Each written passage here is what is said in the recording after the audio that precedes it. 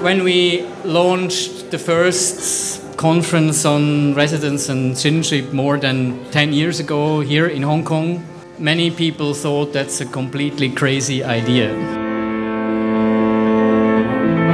We have currently, I think, three events per week. Yet today, the main annual conference of and Partners is still the most important such event in the world.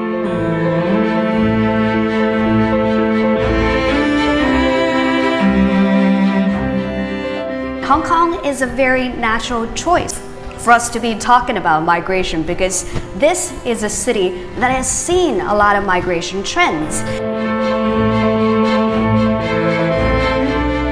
I'd like to invite on stage one of our most distinguished speakers. Ladies and gentlemen, please welcome the Prime Minister of Malta, the Honorable Dr. Joseph Muscat. I had in my office some of the wealthiest people in the world asking me why were we refused. That in itself is the secret of the success. The country does not depend on a citizenship program to move ahead. I'd like to know which nationalities currently you believe should be specifically focused on global uh, residence and citizenship planning. Which nationalities? All nationalities should have more than one passport. So, no matter how successful and how lucky you are to be in a certain place, it can happen. It can change. It can change dramatically. And it will change dramatically in your lifetime and in your children's lifetime.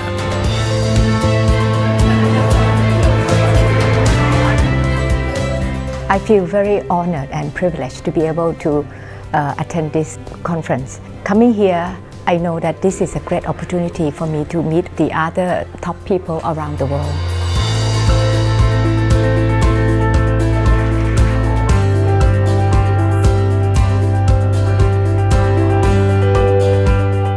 Obvious that, that better countries would give, would give us better nationalities, we think.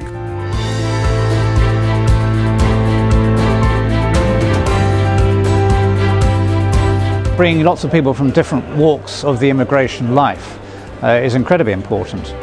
I, I believe the difference uh, that what Henley and Partner gives is the fact that you are able to connect with the governments directly.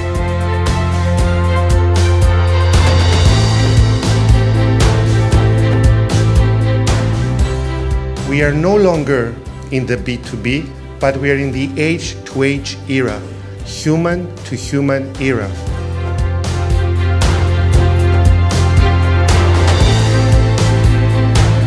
I'm delighted to announce the Henley and Partner Global Citizen Award 2017 goes to Ms. Monique Morrow for her project, The Humanized Internet. Thank you for recognizing and embracing the outliers, those who choose simply to create alternative solutions for those extraordinary problems um, that are, we are faced with in our world today. Extraordinary.